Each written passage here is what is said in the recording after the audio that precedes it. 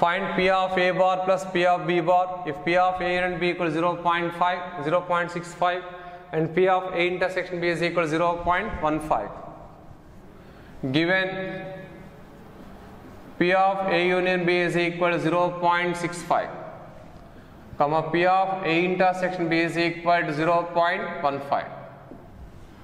Therefore, P of A bar plus P of B bar is equal to written as 1 minus P of A plus 1 minus P of B. P of A bar can be written as 1 minus P of A and P of B bar can be written as 1 minus P of B is equal to 2 minus of P of A plus P of B.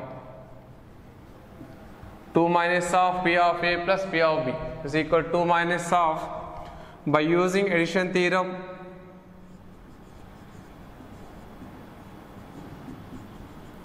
by using addition theorem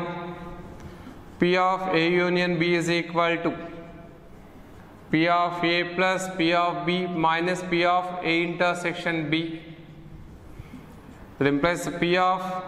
P of A plus P of B is equal to P of A union B plus P of A intersection B.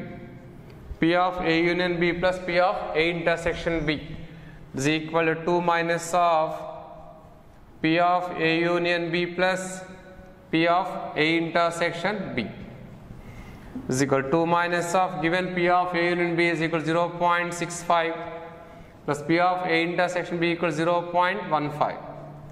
this is equal to 2 minus of 0.8 is equal to 1.2 so value of P of A bar plus P of B bar. P of A bar plus P of B bar is equal to 1.2